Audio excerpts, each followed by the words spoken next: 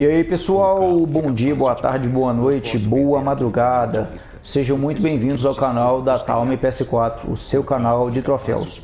Meu nome é Daniel e hoje trago para vocês o troféu Ciclo de Violência, onde você deverá usar aparelhos rápidos durante 100 vezes em combates fluentes.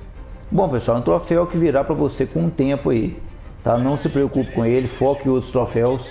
Eu vou mostrar para vocês aqui quais são os golpes que designará aí essas, estes 100 é, movimentos rápidos aí é, dos aparelhos, tá? Então você pode usar, por exemplo, o Battle Rank, que é o L2, o Bat Cluck Shortcut, que é o L2 e o triângulo, né?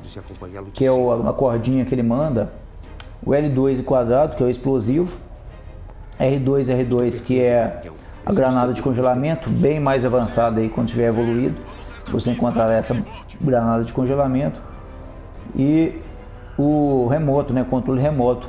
Então não se preocupe que esse troféu ele virá para você com o tempo aí, beleza?